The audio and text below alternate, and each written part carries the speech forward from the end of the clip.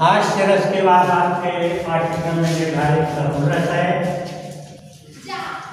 करुण रस की परिभाषा इस प्रकार है। बंधुनाश बंधु वियोग द्रव्यनाश, प्रेम भाव की सदैव के लिए समाप्ति अथवा किसी के सदा के लिए बिछुड़ने पर करुण रस उत्पन्न होता है। वियोग श्रृंगार में भी यह स्थिति होती है।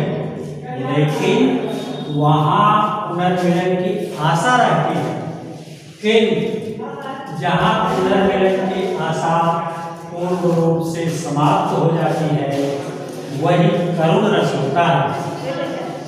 इसका उदाहरण, अभी तो बंधा था मार, हुए कल ही हल्दी के हाथ खुले भी नहीं लाज के बोल खिले मन शून्य कपोल हाय, रुक गया यही संसार, बना सिंदूर अंगार वाट हट लटका, वह सुकुमार, पड़ी है छिन्नाधार।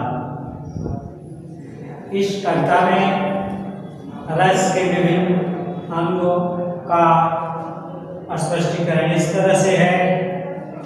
इसमें अस्थायी भाव शोक विभाव में आलंबन विभाव, विनष्ट उपपत्ति उद्दीपन विभाव, मुकुट बांधना हल्दी के पीले हाथ होना लाज के बोल भी न खुलना, आज अनुभाव लता की भान नायिका का गिरना, संचारी भाव, विशाल दैन स्मृत, जड़ता I